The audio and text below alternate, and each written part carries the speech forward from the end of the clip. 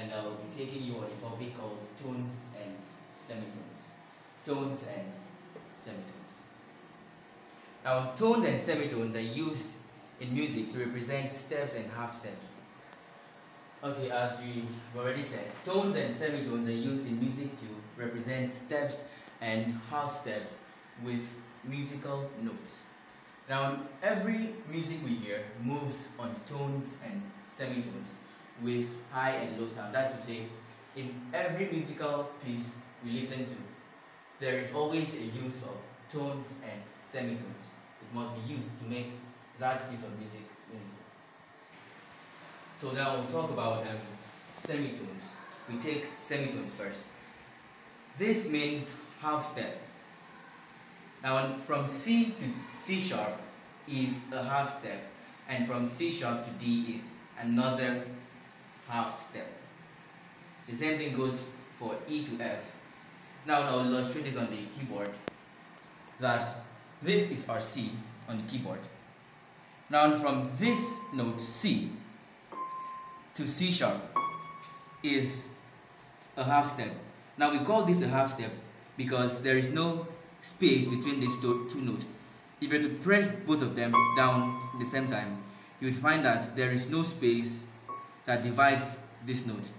So from here to here is a half step. That's from C to C sharp is a half step. And from C sharp to D is another half step. The same thing goes for E. This is our E.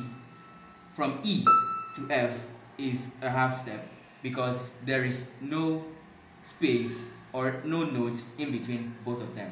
Okay, so every half step between two musical notes is a semitone.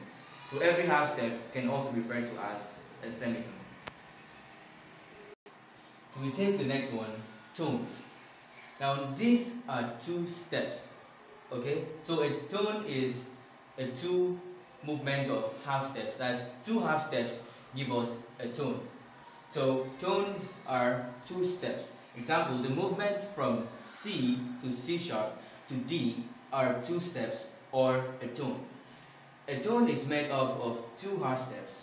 Now simply, the movement from F to G is a tone too. So we illustrate this on the keyboard. We said a tone is two half steps. Now from here, that's your C, to your C sharp is one half step.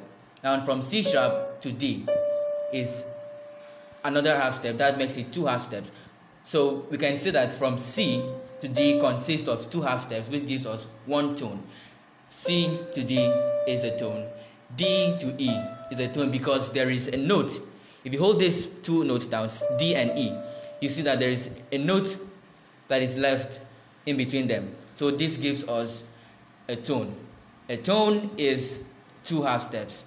And also another way to see that it's a tone is when you have an extra note in between these two notes. The same for same thing applies for F and G. The distance from F to G is a tone because we have another note in between them. Okay, so I'll explain from top so that you can follow me again. Our topic today is tones and semitones, and we said that tones and semitones are used in music to represent steps and half steps with musical notes. Every music we hear moves on tones and semitones with high and low sounds. Um, semitones, said semitones means half step. From C to C sharp is a half step. I made that illustration with our keyboard that the distance from C to our C sharp is a half step because we have no notes in between them. It's just very clear that there is no note in between these two. That makes it a half step. and also from C sharp to D is another half step. And the same thing also goes for E and F, E to F. E to F also is a half step, which is also called a semitone. Now every half step between two musical notes is a semitone. Every half step between two musical notes is a semitone. The next one we have here is tones. These are two steps. Example, we illustrated that um, the distance from C to D is a step because before we arrive at C, if we move chromatically from C, we have to touch another note called C sharp before we arrive at D.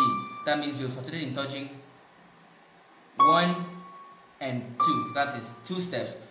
We're here, we move the first step and the second step lands us at D.